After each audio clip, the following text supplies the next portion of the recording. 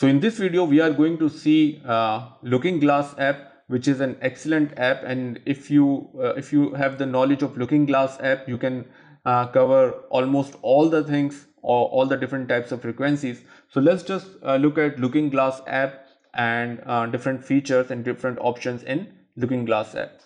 So over here, you can see different options.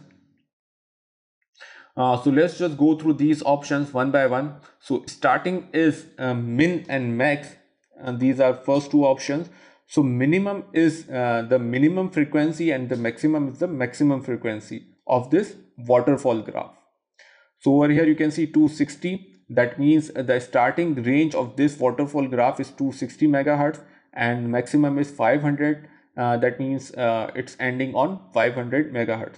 And then there is range uh, so the total area or the total uh, frequency which is covered by uh, this uh, waterfall graph is 240 megahertz. So basically it's the difference between 260 and 500 which is uh, 240. So it's covering 240 megahertz.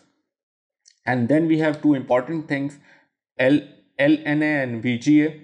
So LNA is low noise amplifier and VGA is variable gain amplifier. So you can understand these two things by example. So uh, consider L LNA as a high quality microphone to pick up a quiet sound and VGA is just like uh, the volume on your headphone to control how loud you hear the sound pick up by the microphone. So these are the so these are two uh, things LNA and VGA. So we usually use these two things in combination and then we have preset.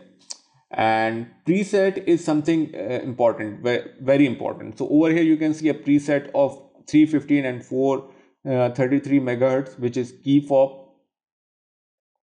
Uh, so we can uh, we can uh, see different key fobs on this waterfall graph. And we have different presets. Over here you can see we have ham radio presets. And we have broadcast fm broadcast preset aviation presets and we have 433 uh, band. And we have manual full full range shf uhf vhf wi-fi and all those things pagers as well. Right? So this is preset. And then we have a marker.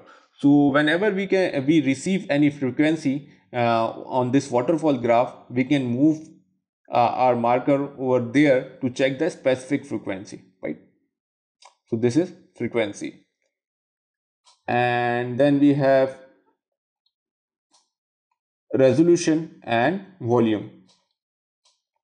Over here we have spectre V. So the graph which we are seeing is a waterfall graph, but we have different options as well in looking glass. So we have level V so in level, we can see different peaks, uh, the strong frequencies, right?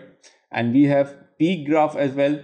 So difference between level graph and peak graph is whenever you will receive any frequency in peak graph, its frequency will be captured and it will remain uh, over uh, peak graph. And in level graph, it will vanish, right? So this is a difference. So this is level and peak. Over here you can see uh, we have beep option so we can turn off or on this beep option. And we have volume over here we have the resolution right? So these are uh, uh, few different options on this looking glass app. Thank you